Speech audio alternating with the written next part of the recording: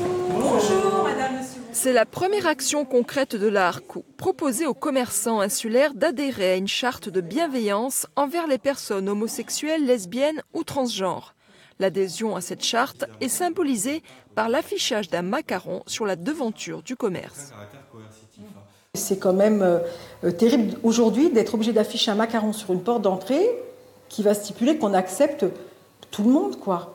Je dirais encore plus les homosexuels, les transgenres, les lesbiennes. Je trouve que c'est c'est un petit peu triste d'en arriver à, à afficher un macaron pour dire on vous accepte ou vous ne serez pas jugé.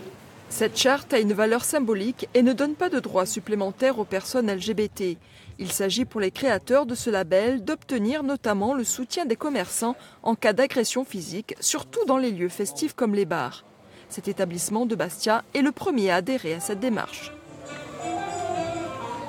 Par rapport à l'association, comme on en avait parlé, vous en avez parlé un peu à la clientèle, je suis au courant, vous avez eu des, des retours On a eu des retours euh, plutôt positifs, globalement assez positifs dans l'ensemble. Euh, donc c'est vrai qu'on a euh, déjà une partie de notre clientèle justement qui est, qui est LGBT, donc eux pour le coup ont accueilli vraiment favorablement l'idée.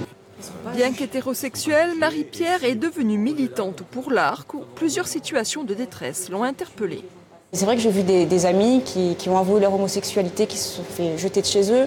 Il y en a qui sont tombés dans la prostitution, il y en a qui sont tombés dans la drogue, il y en a qui, ont dû changer de pays, qui, n'avaient plus nulle part où aller, alors que c'est des, gens qui n'ont rien fait à personne. Donc c'est triste et voilà, c'est pas normal.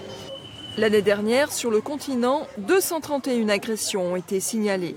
En Corse, l'association Le Refuge recueille les personnes discriminées. Oui, il y a des plaintes, il y a à peu près deux ou trois plaintes par an qui passent au tribunal et nous recevons, euh, hébergeons euh, aussi deux, trois jeunes par an, voilà, qui sont euh, dégagés de chez eux par leur famille ou par leurs proches. Au-delà de la sensibilisation du public, l'association ARCO envisage de proposer une assistance juridique aux victimes LGBT.